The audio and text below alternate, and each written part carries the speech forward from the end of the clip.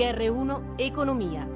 Autostrade a orologeria ogni giorno circolano 10.000 tir con carichi potenzialmente letali. In Italia su gomma va oltre il 90% del trasporto.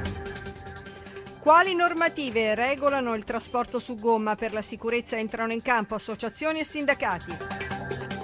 Buongiorno da Paola Bonanni, l'autocisterna che ha innescato l'incidente a catena di Bologna che, ha, che, trasportava GPL porta ad un'urgente riflessione sull'intera rete trasporti italiana.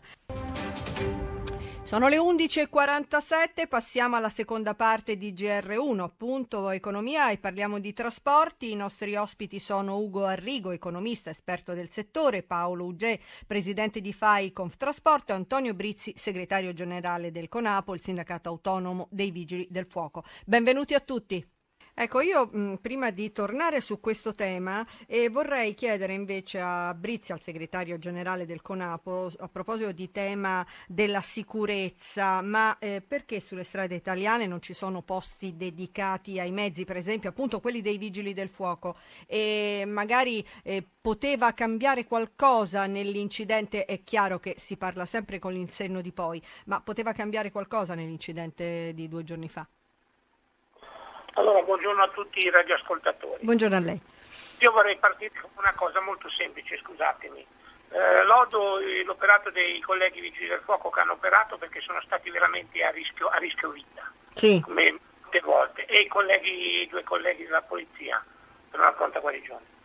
Eh, io parlo dal punto di vista di sicurezza e soccorso, eh, non guardo quanto costa e da dove si pigliano i soldi, perdonatemi. Eh, certo che necessita che i vigili del fuoco, in quanto facenti parte di una certa forza di polizia, facciano parte ai controlli, ai controlli dei mezzi durante il percorso. Ogni in particolare nelle grandi autostrade dove ci sono ci dovrebbero essere dei posti, posti fissi, posti fissi di vigili del fuoco che naturalmente intervengano quanto prima uh-huh. o intervengano in aiuto o in ausilio delle forze di polizia che naturalmente operano nelle autostrade.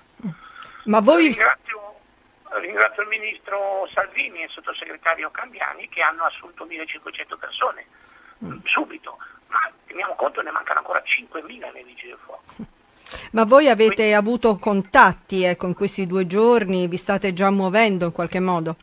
Ma noi adesso eh, stiamo già muovendo, abbiamo già fatto anche delle richieste di mettere dei centri fissi nelle autostrade e che questi centri fissi abbiano dei distaccamenti veri e propri di personale che come la polizia controlla dal punto di vista di viabilità, i vigili del fuoco controllino il soccorso e la sicurezza. Certo. C'è una cosa importante, vi faccio notare, l'ANAS ha la qualifica di, pubblica, di polizia stradale, l'ANAS, gli impiegati e i lavoratori ANAS. I vigili del fuoco, fac- pur facendo quotidianamente eh, viabilità sugli incidenti, non hanno la qualifica di polizia stradale.